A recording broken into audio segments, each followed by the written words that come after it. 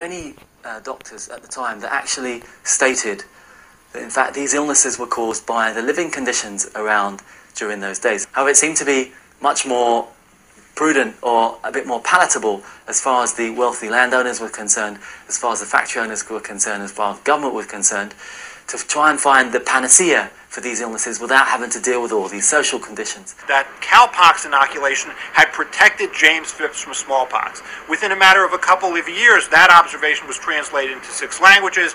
It- his cowpox vaccination became routine by the, the sort of the, the, the mid to late 1800s and early 1900s, and by 1977, smallpox, a disease which killed 500 million people in the world's history, was eliminated. The death rate from smallpox went up markedly.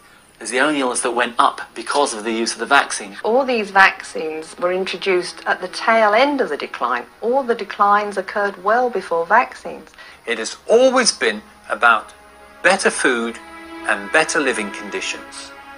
And never has it been about medical intervention.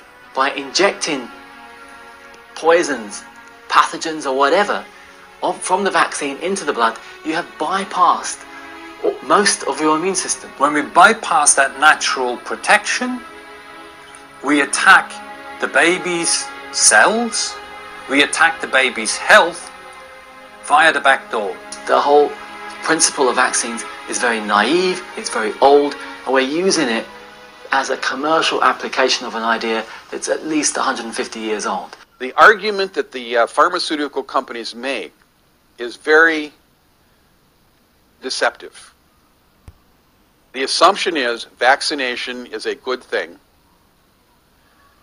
In order for it to work, we have to spread it as widely as we possibly can because otherwise, the people who are not vaccinated will start a disease moving through the entire population. Therefore, we must work really, really, really hard to get these things into everybody.